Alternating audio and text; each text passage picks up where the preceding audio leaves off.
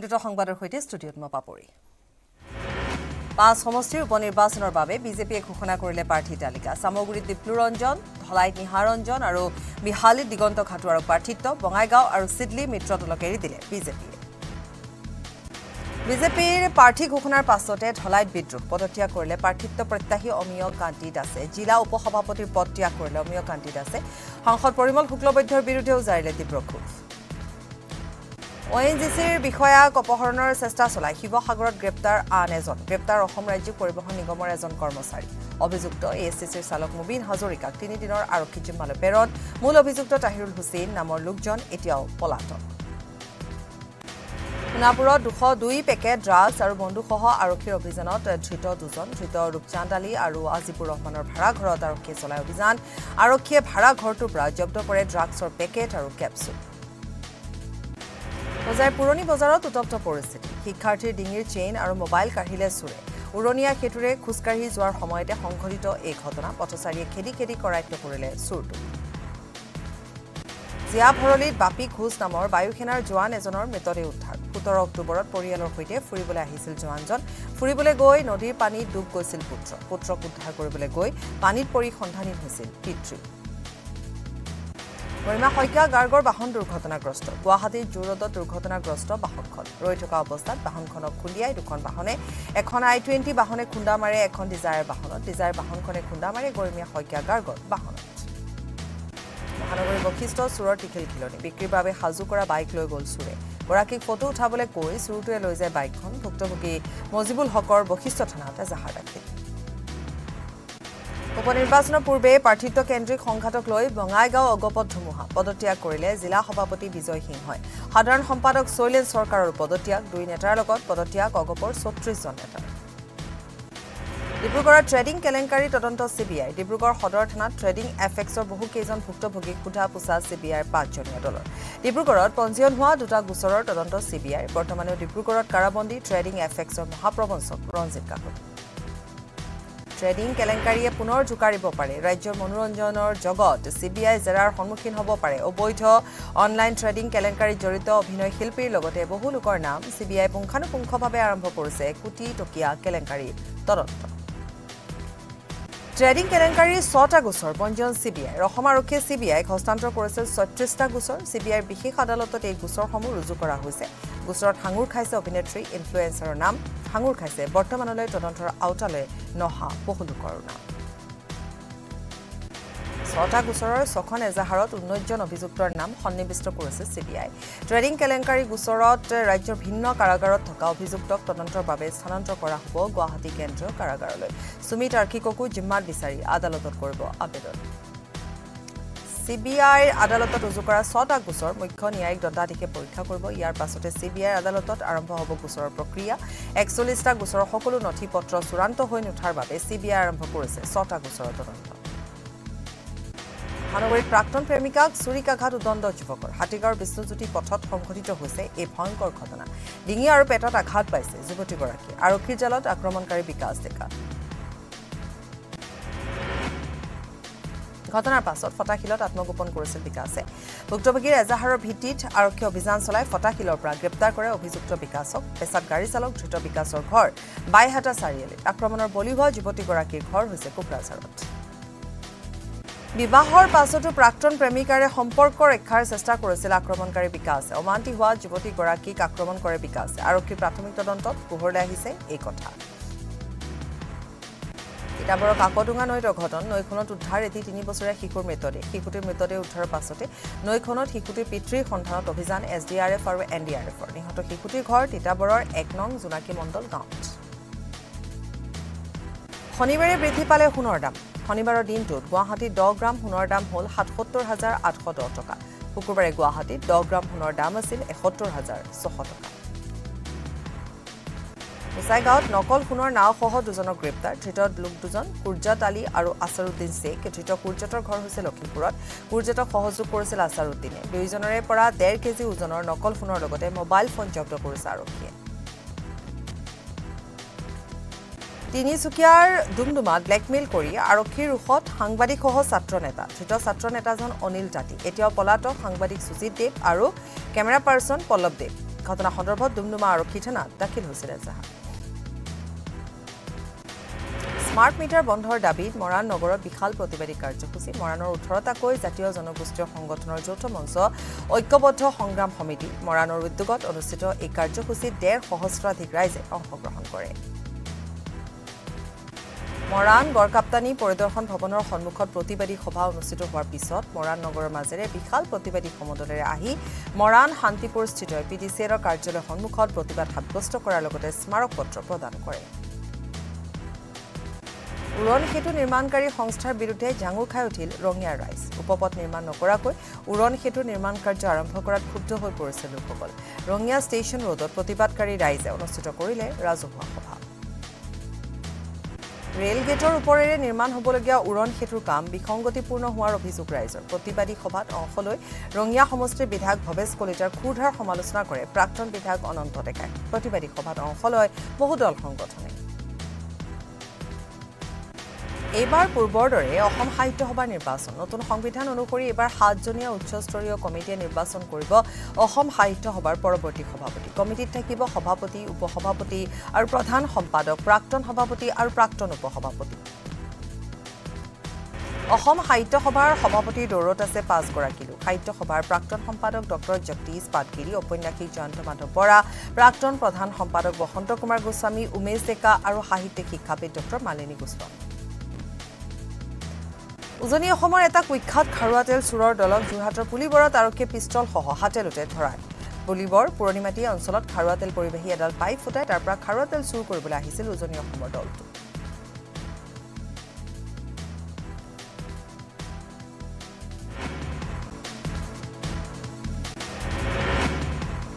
আৰু ঘটনাত সহযোগ কৰিছিল দুই স্থানীয় যুৱকে। তেল চোৰৰ দলটোৰ পৰা আৰক্ষীয়ে পাইপ ফুটাবলৈ ব্যৱহাৰ কৰা মেচিন এখন গাড়ী আৰু গুলীসহ এটা পিষ্টল জব্দ কৰিছে। ঘটনাস্থলীৰ পৰা চোৰৰ তেল পৰিবাহী টেংকাৰসহ চালকৰ পলায়নৰ সম্ভাৱনা। মাজুলীৰ ব্ৰহ্মপুত্ৰত দীৰ্ঘ সময় আবদ্ধ যাত্ৰীবাহী ফেৰী ব্ৰহ্মপুত্ৰৰ জলস্তৰ হ্ৰাস পোৱাৰ বাবে আবদ্ধ হৈ পৰে ফেৰীখন। ফেৰীখনত আছিল অৰ্ধ শতাধিক যাত্ৰীৰ লগতে কুৰিখনৰো অধিক দুচকীয়া বাহন। কমলাবাৰী ঘাটৰ পৰা নিমাতী ঘাট অভিমুখী আছিল ফেৰীখন। ৰাজ্যত শীঘ্ৰে বৃদ্ধি হ'ব মাটিৰ খাজানা। চৰকাৰী ভূমি মূল্যৰ বিপৰীতে নিৰ্ধাৰণ হ'ব নতুন খাজানা। বিছ অক্টোবৰৰ পৰা আৰম্ভ হ'ব মিছন বসুন্ধৰা তিনি three point two mission Basundhara three point tour সমাপ্ত হোৱাৰ পাছতে বাঢ়িব মাটিৰ খাজানা। আভ্যন্তৰীণ জল পৰিবহণ বিভাগত চলিছে চৰম অৰাজকতা। বিভাগীয় ৰচিদ অবিহনে যাত্ৰীক লুটিছে লেচিয়ে কুম্ভকৰ্ণ নিদ্ৰাত জল পৰিবহণ বিভাগৰ বিষয়া কৰ্মচাৰী বুধবুটিৰগৰাকীয়ে নিজ ইচ্ছা অনুসৰি যাত্ৰীৰ পৰা লয়। চৰকাৰী নিৰীক্ষৰ পৰিৱৰ্তে অত্যাধিক ভাড়া ৰূপহীহাটত কংগ্ৰেছৰ অৱস্থান ধৰ্মঘট প্ৰতিবাদী কাৰ্যসূচীত বাধা প্ৰদান আৰক্ষী ৰূপহীহাট ব্লক কংগ্ৰেছ কাৰ্যালয়ৰ সন্মুখত বেৰিকেড দি বাধা প্ৰদান কৰে আৰক্ষীয়ে। প্ৰতিবাদৰ বাবে লোৱা নাছিল প্ৰশাসনৰ অনুমতি। ৰূপহীহাট আৰক্ষী থানাৰ সন্মুখত কংগ্ৰেছৰ ধৰ্মঘট কংগ্ৰেছ নেতাৰ বাহনত আক্ৰমণৰ ঘটনাৰ প্ৰতিবাদ আৰক্ষীয়ে কোনো ব্যৱস্থা গ্ৰহণ নকৰাৰ প্ৰতিবাদ।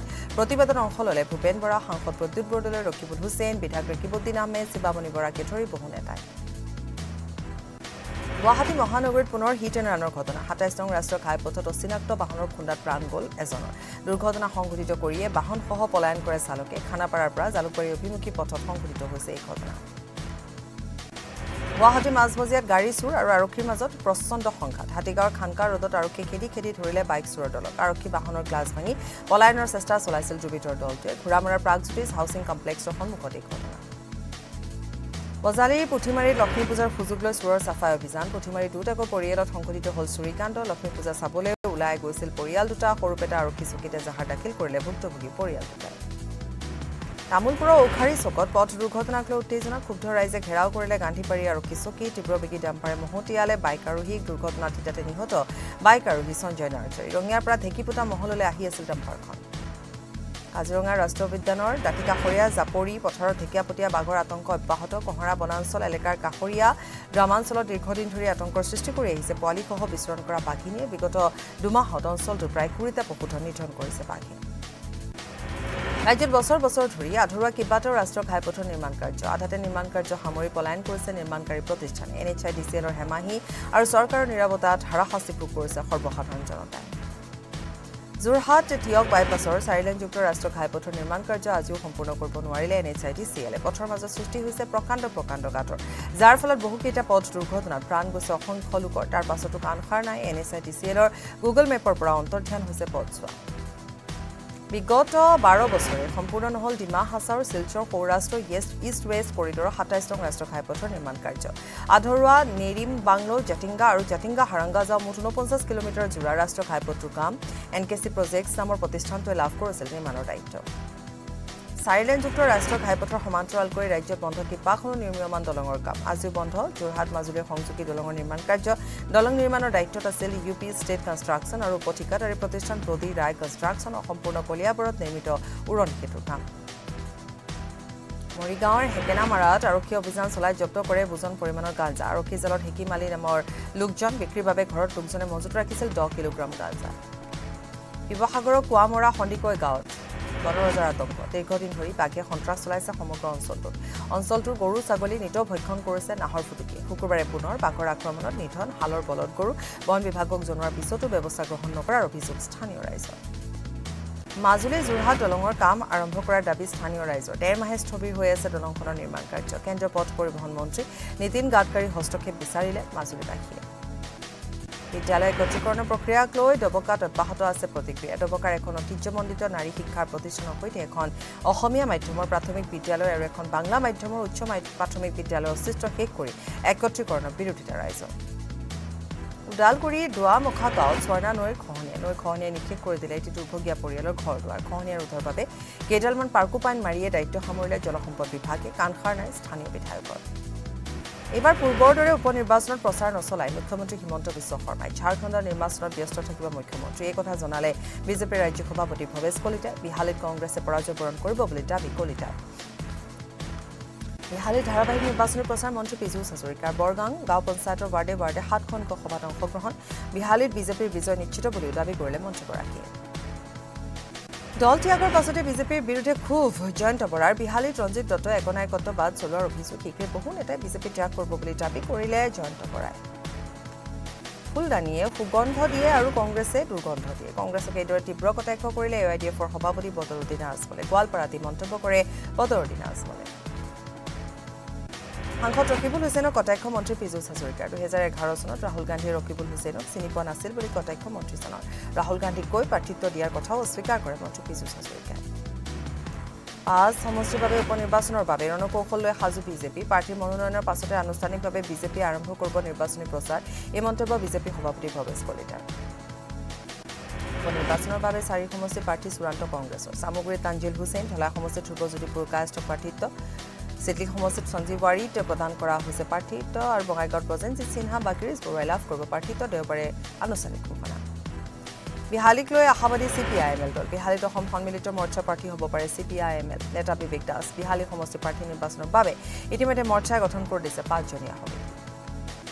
চামগুৰিৰ উপ নিৰ্বাচনক লৈ আশাবাদী বদৰুদ্দিন আজমল। সমষ্টিটো এ আই ডি এফৰ প্ৰাৰ্থী জিকিব বুলি দাবী। কংগ্ৰেছকো সমালোচনা। আজমলৰ কংগ্ৰেছৰ প্ৰাৰ্থিত্ব লৈ গৃহকণ্ডল হোৱা বুলি দাবী কৰে আজমলে।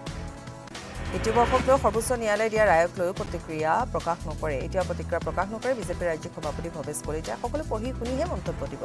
বিজেপিয়ে শপতনামা নাগৰিকত্বৰ ভিত্তিবৰ্ষ ঊনৈছশ এসত্তৰ চন দিয়া বুলি মন্তব্য কলিতা গৌৰৱ গগৈ আৰু ভূপেন বৰাক সমালোচনা আজমলৰ দুয়োগৰাকীৰ মাজত মুখ্যমন্ত্ৰী পদক লৈ যুঁজ চলা বুলিও মন্তব্য। মুখ্যমন্ত্ৰী পদৰ যুঁজৰ বাবে কংগ্ৰেছৰ দুটা গ্ৰুপ হোৱা বুলি কটাক্ষ কৰে আজমলে। সাংসদ ৰকিবুল হুছেইনৰ সমালোচনা বদৰুদ্দিনা আজমলৰ। ৰকিবুল হুছেইনে বৰ্ণাঢ্যৰ খবৰ নোলোৱা বুলি মন্তব্য আজমলৰ। দিল্লীত গৈ ৰকিবুল হুছেইনে কেৰেম খেলাহে ৰাইজে দেখিছে বুলি কটাক্ষ কৰে আজমলে। খবৰ অব্যাহত ৰাখিম সময় বিৰতি। আৰে ভাই এনেই নাম্বাৰ ওৱান কণ্ট্ৰেক্টৰ হৈছো নেকি? সৰুকালৰ পৰাই ব্যৱসায় কৰি আছো সৰ্বোত্তম টি এম টি এইটো মাইথান ষ্টীল নহয়। সস্তা হয় বছ।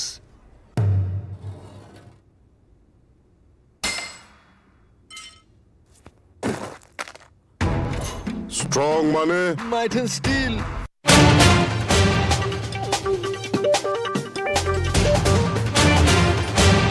আৰে ভাই এনেই নাম্বাৰ ওৱান কণ্ট্ৰেক্টৰ হৈছো নেকি? সৰুকালৰ পৰাই ব্যৱসায় কৰি আছো সৰ্বোত্তম টি এম টি এইটো মাইথান ষ্টীল নহয়। সস্তা হয় বছ।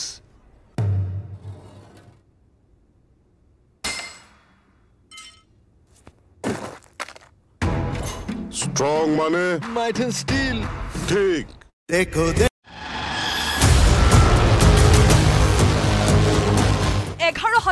টকীয়া ট্ৰেডিং কেলেংকাৰী চি বি আইয়ে আৰম্ভ কৰিলে একচল্লিছটা গোচৰৰ তদন্ত। দীপাংকৰ বৰ্মন বিশাল ফুকন চুমি বৰা তাৰ্কিক বৰা ৰঞ্জিত কাকতি মহম্মদ চাকিৰ আৰু ৰাজদীপ দেৱৰ দৰে ধুৰন্ধৰৰ মুখা খোল খাব চি বি আইৰ তদন্তত। তদন্তৰ প্ৰথম ধাপত চি বি আইয়ে খুলিলে দীপাংকৰ বৰ্মনৰ ফাইল। পিতৃ মাতৃক জেলত বন্দী হৈ থকা সময়ত পলাই থকা দীপাংকৰ বৰ্মনৰ বিৰুদ্ধে আছে সাত হাজাৰ কোটি টকা লুণ্ঠনৰ অভিযোগ। সমান্তৰালকৈ ড্ৰিম গাৰ্ল চুমি বৰা আৰু ফুকলীয়া প্ৰবঞ্চক বিশাল ফুকনৰ ৰূপকথাৰ কাহিনীৰ পৃষ্ঠা খুলিবলৈ ডিব্ৰুগড়ত উপস্থিত হৈছে চি বি আইৰ তদন্তকাৰী বিষয়া। ডিব্ৰুগড়ত পঞ্জী স্কীমৰ হেডমাষ্টাৰ ৰঞ্জিত কাকতিৰ বিৰুদ্ধে ৰুজু হোৱা গোচৰৰো তদন্ত চলাব চি বি আইৰ দলে। গ্ৰামোন্নয়নৰ চাকৰি এৰি ট্ৰেডিং এফেক্সৰ জৰিয়তে সাধাৰণ লোকৰ বাৰশ কোটি টকা লুটি পুতি খোৱা জীৱন ফুকন নগৰৰ ৰঞ্জিত কাকতিৰ জালিয়াতি ফাদিল হ'ব চি বি আইৰ তদন্তত। ৰঞ্জিত কাকতিৰ লগতে ডিব্ৰুগড় কেন্দ্ৰীয় কাৰাগাৰৰ আন তিনি আলহী বিশাল ফুকন চুমি বৰা আৰু তাৰ্কিক বৰাক প্ৰয়োজন সাপেক্ষে জেৰা চলোৱাৰো সম্ভাৱনা আছে চি বি আইৰ দলে। এঘাৰ হাজাৰ কোটি টকাৰ কেলেংকাৰীৰ আটাইকেইটা খলনায়কৰ বিৰুদ্ধে এতিয়ালৈকে ৰুজু হোৱা একচল্লিছটা গোচৰৰ ফাইল ইতিমধ্যে তন্ন তন্নকৈ পৰীক্ষা কৰিছে চি বি আইৰ তদন্তকাৰী দলে। এই একচল্লিছটা গোচৰৰ উপৰিও অসম আৰক্ষীয়ে চি বি আইক সমৰ্পণ কৰিব কৰিমগঞ্জৰ মহম্মদ চাকিৰ আৰু ৰাজদীপ দেৱ নামৰ আন দুই খলনায়কৰ বিৰুদ্ধে ৰুজু কৰা গোচৰ। ৰহস্যজনকভাৱে দীপাংকৰ বৰ্মন আৰু ৰঞ্জিত কাকতিৰ বাহিৰে বিশাল ফুকন মাইথান ষ্টীল নহয়। সস্তা হয় বছ। ষ্ট্ৰং মানে? মাইথন ষ্টীল।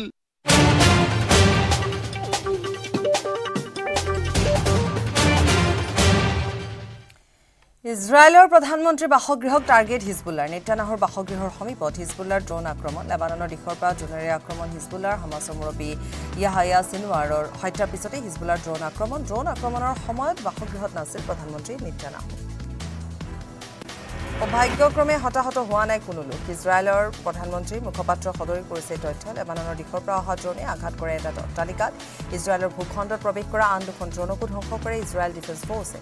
ড্ৰোন আক্ৰমণৰ দায়িত্ব স্বীকাৰ কৰা নাই হিজবুল্লাই ইপিনে পেলেষ্টাইনৰ ৱেষ্ট বেংকত ইজৰাইল পুলিচ আক্ৰমণৰ বলি হৈছে এখন আত্মঘাতী বাহনে প্ৰাণঘাতী খুন্দা মাৰিছে ইজৰাইলী পুলিচৰ বাহনত দক্ষিণ লেবাননত অব্যাহত ইজৰাইলৰ আক্ৰমণ বিমান আৰু ৰকেট আক্ৰমণেৰে ইজৰাইলে ধ্বংস কৰিছে সাগৰীয় পৰ্যটনস্থলী। বিমান আক্ৰমণত ধ্বংস হয় অঞ্চলটোৰ ৰেষ্টুৰেণ্টসমূহ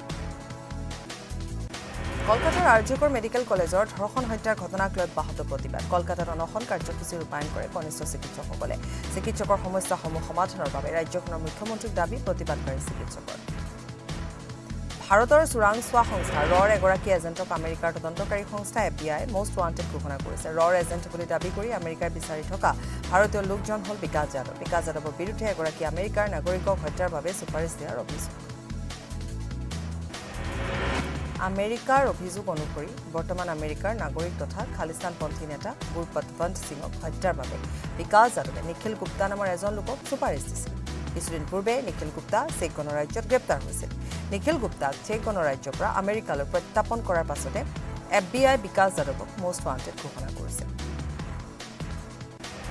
নিখিল গুপ্তা বৰ্তমান গুৰপতৱন্ত পান্নুনক হত্যাৰ চেষ্টা কৰাৰ অভিযোগত আমেৰিকাত বিচাৰাধীন। দুহেজাৰ তেইছ চনত ভাৰতৰ প্ৰধানমন্ত্ৰী নৰেন্দ্ৰ মোদীৰ আমেৰিকা ভ্ৰমণৰ সময়তে গুৰপতৱন্ত পান্নুনক হত্যাৰ ষড়যন্ত্ৰ ৰচা হৈছিল বুলি আমেৰিকাই অভিযোগ আনিছে।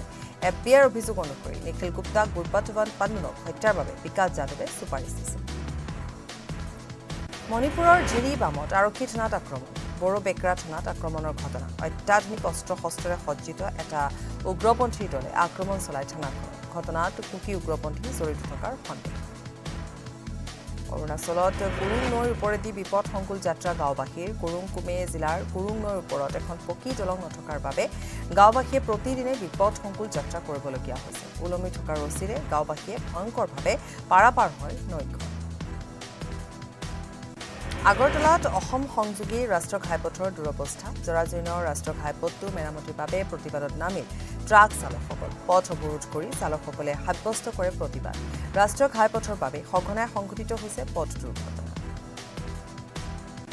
গুৱাহাটীলৈ মহাৰাষ্ট্ৰৰ মুখ্যমন্ত্ৰী একনাথ সিন্ধে। মা কামাখ্যাৰ আশীষ ল'বলৈ আহিব একনাথ সিন্ধে। মুখ্যমন্ত্ৰী হোৱাৰ পূৰ্বেও কামাখ্যালৈ আহিছিল সিন্ধে। মহাৰাষ্ট্ৰৰ নিৰ্বাচনৰ প্ৰাক্ষণত মা কামাখ্যাৰ আশীষ বিচাৰি গুৱাহাটীলৈ একনাথ সিন্ধে। অসমলৈ আহিব কৰ্ণাটকৰ বাসত্তৰ সংখ্যক শ্ৰী শ্ৰী নিৰ্মলানন্দনাথ স্বামীজী শ্ৰী শ্ৰী নিৰ্মলানন্দনাথ স্বামীজীয়ে দৰ্শন কৰিব কামাখ্যা মন্দিৰ। ছেইণ্ট মাৰ্থা গ্ৰুপৰ হৈ অধ্যক্ষ বৰ্গিছ কে আব্ৰাহামে স্বাগতম জনায় নিৰ্মলানন্দনাথ স্বামীজীক। গুৱাহাটীৰ বৰ্ষাপাৰা ষ্টেডিয়ামত অসম আৰু চণ্ডীগড়ৰ মাজত ৰঞ্জী ট্ৰফীৰ খেল অনুষ্ঠিত হৈছে। প্ৰথমে বেটিং কৰি অসমে সংগ্ৰহ কৰিছে দুশ ছয়ষষ্ঠি ৰান অসমৰ হৈ মুক্তৰ হুছেইনে সৰ্বাধিক পঁচপন্ন ৰান সংগ্ৰহ কৰে। বৰচলাৰ ঘগৰা গড়জুলি ক্ৰীড়া সংস্থাৰ উদ্যোগত অনুষ্ঠিত প্ৰাইজ মানি ফুটবল প্ৰতিযোগিতাৰ সামৰণি। বেৰছা ফুটবল ক্লাব হৰিশিঙা আৰু আদিবাসী জুনিয়ৰ ফুটবল ক্লাবৰ মাজত অনুষ্ঠিত হয় চূড়ান্ত খেল। খেলখনত তিনি এক গলত আদিবাসী জুনিয়ৰ ক্লাব টংলা ফুটবল একাদশ বিজয়ী হয়। কাজিৰঙাৰ ঢেকীয়াপতীয়া বাঘ দেখি আনন্দিত পৰ্যটক। কাজিৰঙা ৰাষ্ট্ৰীয় উদ্যানৰ কহৰা বনাঞ্চলৰ কাঠ পৰা দেখা গ'ল দৃশ্য। টুৰিষ্ট গাইড লিটন গ্ৰুপৰ কেমেৰাত বন্দী ঢেকীয়াপতীয়াৰ বিল পাৰ হোৱা মনোৰম দৃশ্য। খাৰঘুলি হ'ব জুবিন গাৰ্গৰ স্থায়ী ঠিকনা বুন্দা চপাই ডাঙৰ সংগীতানুষ্ঠানত ঘোষণা জুবিনৰ কাহিলীপাৰাৰ ফ্লেটৰ পৰিৱৰ্তে খাৰঘুলিত স্থায়ীভাৱে থাকিব জুবিন গাৰ্গ। লক্ষ্মী পূজা উপলক্ষে বুন্দাত জুবিনে পৰিৱেশন কৰিলে সংগীতানুষ্ঠান। নাম দফাৰ পাছতে পখিলা সংৰক্ষণত দেশৰ ভিতৰতে দ্বিতীয় স্থানৰ স্বীকৃতি লাভ কৰিছে বিশ্ব ঐতিহ্য ক্ষেত্ৰ কাজিৰঙা ৰাষ্ট্ৰীয় উদ্যান কাজিৰঙা ৰাষ্ট্ৰীয় উদ্যান আৰু কাজিৰঙাৰ পাণবাৰী সংৰক্ষিত বনাঞ্চলত উপস্থিতি পোৱা গৈছে চাৰিশ ছয়চল্লিছ বিধ ভিন্ন প্ৰজাতিৰ কাজিৰঙাৰ চোৰাং কাঠমূৰ্তি পিক আপ বাহন জব্দ কাৰ্বি পাহাৰৰ নামনিত আন্ধাৰৰ সুযোগ লৈ চোৰাং কাঠ বেপাৰীয়ে গাড়ীত উঠাই আছিল কাঠখিনি। বনকৰ্মীৰ উপস্থিতিৰ উমান পাই চলাই যায় কাঠৰ চোৰাং বেপাৰীকেইটাই। কাৰ্বি পাহাৰৰ পলাই যায় আৰু কাৰ্বি পাহাৰত অব্যাহত আছে এনেধৰণে বন ধ্বংসযজ্ঞ। মহানগৰীত গ্ৰাহকে পিঁয়াজ কিনিছে মাত্ৰ পঁয়ত্ৰিছ টকা। প্ৰতি কিলো পিঁয়াজ পঁয়ত্ৰিছ টকাকৈ বিক্ৰী কৰিছে নাফেডৰ সহযোগত। খাদ্য আৰু অসামৰিক যোগান বিভাগৰ উদ্যোগত নাফেডৰ সহযোগত মহানগৰীৰ বিভিন্ন প্ৰান্তত মাত্ৰ পঁয়ত্ৰিছ টকাত বিক্ৰী কৰিছে পিঁয়াজ। অসম জাতীয় বিদ্যালয় ফেল'শ্বিপ আৰু অসম জাতীয় বিদ্যালয় সন্মান ঘোষণা। বিশিষ্ট অভিনেতা তথা নাট পৰিচালক হেমন্ত দত্তলৈ ফেল'শ্বিপ। সত্ৰীয়া নৃত্যৰ সাধক যতীন গোস্বামী প্ৰান্তিক আলোচনীৰ সম্পাদক প্ৰদীপ বৰুৱা লোক সংস্কৃতিৰ সাধক বিনোদ খনালৈ অসম জাতীয় বিদ্যালয়ৰ সন্মান আগবঢ়োৱা হৈছে।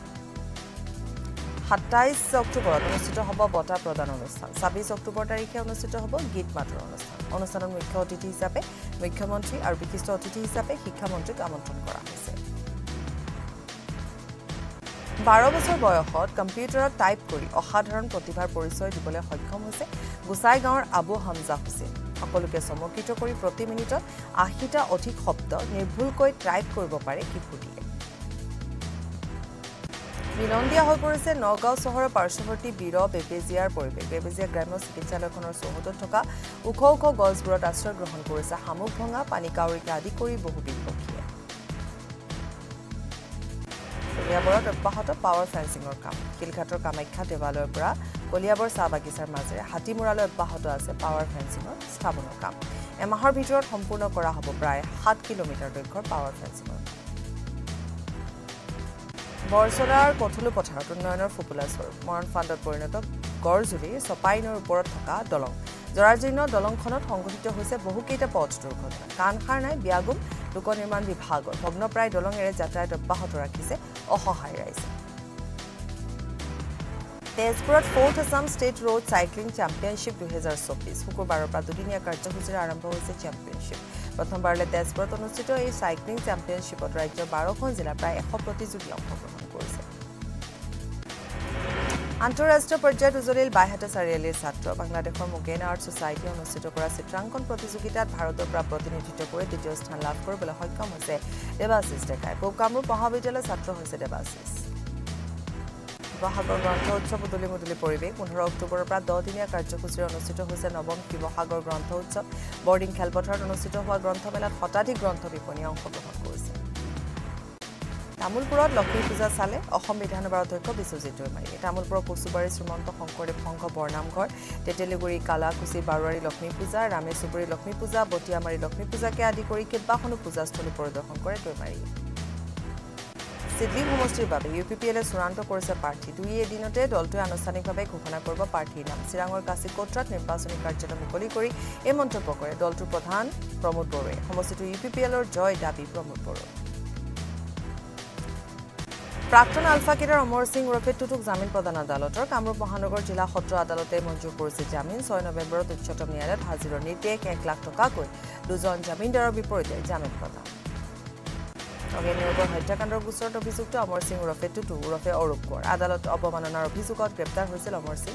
ঊনৈছশ ছয়ানব্বৈৰ ছয় মে'ত এম্বুছত প্ৰাণ গৈছিল মন্ত্ৰী নগেন নেওগৰ। ফৰকাটিং বালিজান চাৰিআলিৰ শিঙিজানৰ কাঠৰ দলং এখনত হৈছিল এম্বুছ গুৱাহাটীত আৰক্ষীক আক্ৰমণ কুখ্যাত গাড়ী চুৰি চক্ৰ। গাড়ী চোৰৰ আক্ৰমণত আহত হৈছে এ এছ আইসহ নজন আৰক্ষী। বৰ্তমানে জি এম চি এইচত চিকিৎসাধীন হৈ আছে A S I Dhrubajyoti Sharma havildar Sunil কল- কলিতা কনিষ্টবল দীপাংকৰ দাস নায়ক ৰাংখাল লেন্স নায়ক আখতাৰ আলী। অভিযানকাৰী আৰক্ষীৰ বাহনৰ গ্লাছ ভাঙি পলায়নৰ চেষ্টা কৰিছিল গাড়ী চোৰৰ দলটোৱে। হাতিকা আৰক্ষীৰ এটা দলে খানকা ৰোডত চলাইছিল গাড়ী চুৰি চক্ৰৰ বিৰুদ্ধে অভিযান। সেই সময়তে ঘোঁৰামৰাৰ প্ৰাগজ্যোতিষ হাউচিং কমপ্লেক্সৰ সন্মুখত আৰক্ষীৰ বাহনত আক্ৰমণ কৰি পলায়নৰ চেষ্টা কৰে গাড়ী চুৰি চক্ৰৰ দলটোৱে। জনজাতিকৰণৰ দাবীত প্ৰতিবাদ মুখৰ দিছপুৰ চুতীয়া জনগোষ্ঠীক জনজাতিকৰণৰ দাবীত মহানগৰীৰ দিছপুৰত উত্তাল প্ৰতিবাদ। চুতীয়া যুৱ সন্মিলনে সাব্যস্ত কৰে প্ৰবল প্ৰতিবাদ। ডিমাপুৰলৈ গৈ সন্ধানহীন যমুনামুখ নগয়াপামৰ ছাত্ৰ। সন্ধানহীন ছাত্ৰজন নুৰ হুছেইন বৰভূঞা ওৰফে ৰাজা। তিনি বন্ধুৰে ডিমাপুৰলৈ গৈছিল ছাত্ৰজন। ইতিমধ্যে ঘৰলৈ উভতিছিল ৰাজাৰ তিনি বন্ধু। ঘটনা সন্দৰ্ভত স্থানীয় থানাত এজাহাৰ দাখিল কৰা হৈছে। ওদালগুৰিৰ হৰিশিঙাত উদ্ধাৰ গোৱালপাৰাৰ পৰা অপহৃত যুৱতী। ওদালগুৰিৰ হৰিশিঙাত গোৱালপাৰা আৰক্ষীয়ে চলাইছিল অভিযান। সোতৰ তাৰিখে হস্পিটেলত গৈ থকা অৱস্থাত দুৰ্বৃত্তই অপহৰণ কৰিছিল যুৱতীগৰাকীক। যুৱতীগৰাকীক অপহৰণ কৰি দুৰ্বৃত্তই দাবী কৰিছিল বিছ লাখ টকাৰ মুক্তিপণ ঢিঙৰ ৰৌমাৰী পথ অৱৰোধ। চৰকাৰী বিল বেদখল মুক্ত কৰাৰ দাবীত ক্ষুব্ধ ৰাইজে। অৱৰোধ কৰিলে ঢিং জাজৰি সংযোগী গড়কাপ্তানী পথ। অবৈধভাৱে ঢিঙৰ কেইবাখনো বিল দখল কৰি মৎস্য পালন একাংশ লোকৰ বিলত খান্দিছে বৃহৎ বৃহৎ পুখুৰী।